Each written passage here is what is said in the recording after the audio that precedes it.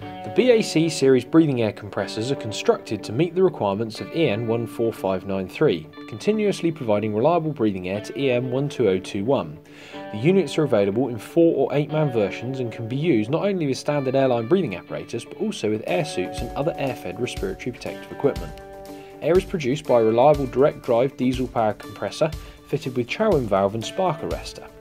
Air is dried and then cleaned of particulates and oils, Integrated within the unit is a high pressure emergency air supply which is activated at the job start and the unit automatically switches to this in the event of a failure with the main compressor.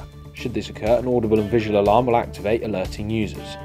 The raised air intake draws air in as far away as possible from the exhaust.